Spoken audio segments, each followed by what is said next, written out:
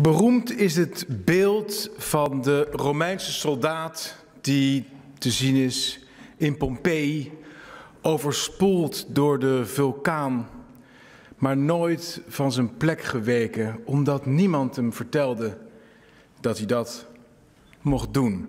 De trouw van die Romein, de trouw aan zijn wereld, aan zijn rol in die wereld, aan zijn beschaving, te midden van een overvloed die hem overspoelde. Zo voelde ik me een beetje deze dagen.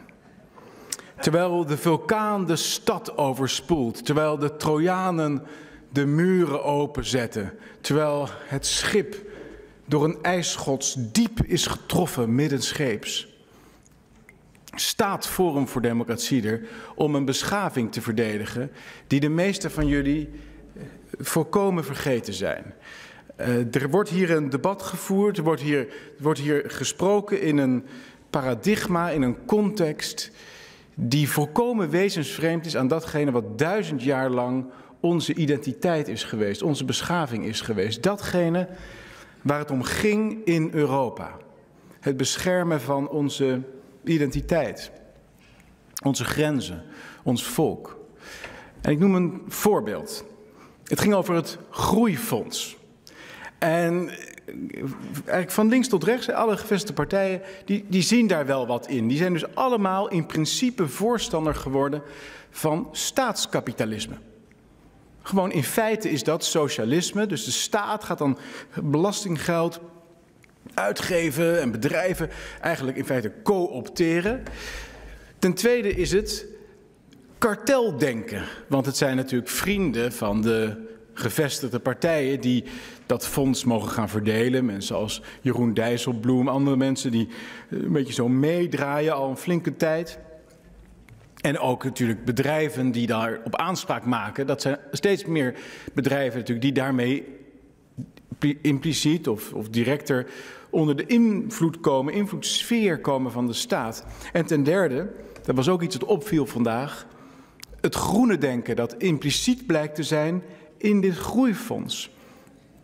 Het hele, het hele idee van een groeifonds was in eerste instantie we gaan winst maken, maar nee, het blijkt niet te mogen strijden met de grondbeginselen die de Nederlandse staat toch al nastreeft. En hé, hey, dat is natuurlijk ook de klimaatwet. Dus impliciet is die 20 miljard en straks misschien uiteindelijk 100 miljard wel degelijk ook bedoeld om het groene denken verder te brengen.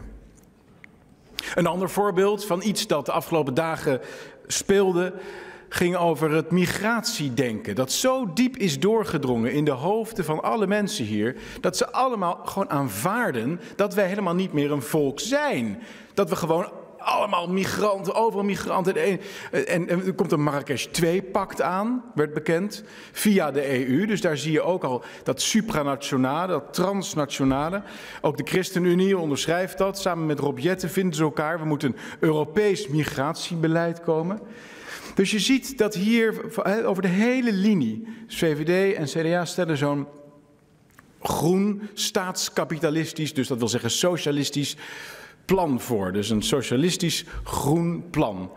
ChristenUnie en D66 en andere partijen onderschrijven een Europees migratiepact. In feite is het bijna niet meer mogelijk om hier nog over met elkaar te debatteren. De werelden zijn zo verschillend. De perceptie ligt zo ver uit elkaar. Jullie hele vertrekpunt, van links tot VVD, CDA, al die partijen, is postnationaal. Jullie denken helemaal niet meer na over Nederland, over het Nederlandse volk, over Nederland met grenzen, met een geschiedenis. Het is, het is een heel, het is een, er is een Ptolemeïsche revolutie is er geweest. Niet langer is het centrum Nederland en draait de rest van de wereld daaromheen. Nee, Nederland draait om een ander centrum heen. Dat is wat er gebeurd is in jullie hoofden. En dat is een geloof. En dat is een geloof dat ik bestrijd. En het maakt mij eigenlijk niet uit of we deze strijd winnen of niet. Ik bedoel, het maakt me wel uit, ik hoop dat we hem winnen. Maar ik sta hier en het feit dat ik hier sta en deze woorden spreek en getuige ben van een, een, een beschaving die duizend jaar oud is. En die door jullie allemaal wordt verkwanseld. Van links tot rechts, het hele kartel. SP, VVD, jullie kunnen zo van lijsttrekker wisselen. Jullie kunnen zo uh, uh, met elkaar regeren. GroenLinks, de CDA. Op, in grote lijnen maakt het niet meer uit. Het is één idee er is een revolutie gebeurd. Ik weet niet precies wanneer. Maar het is zo duidelijk dat hier afscheid wordt genomen ergens van. En ik ben ervan overtuigd dat het overgrote deel van de bevolking dit niet wil. Het overgrote deel van de bevolking in onze oude landen wil dit niet. En ik ben echt ontzettend benieuwd wat er het komende half jaar gaat gebeuren. Maar het zou zomaar eens kunnen, en dat is niet voor het eerst in de geschiedenis, dat jullie versteld zullen staan als jullie over het Place de la Bastille lopen. Wat daar dan ineens gebeurd is. Want vergeet niet wat Lodewijk XIV op 14 juli 1789 in zijn dagboek schreef. Geen bijzonderheden. Dank u wel.